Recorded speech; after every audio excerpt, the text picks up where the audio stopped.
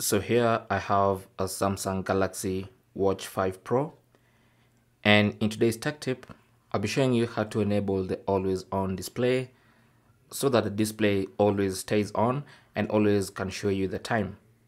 So to do this the easiest way to do this is pulling down from the top of the screen to the bottom to reveal these icons.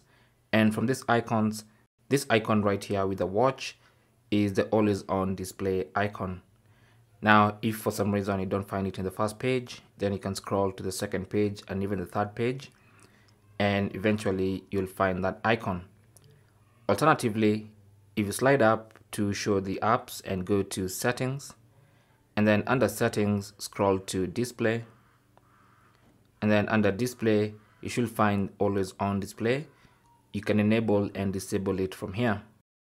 Lastly you can also do this from the galaxy wearable app on your phone so simply launch the app and then go to watch settings and then under watch settings tap on display and then under watch display you can enable and disable the always on display Thanks for watching.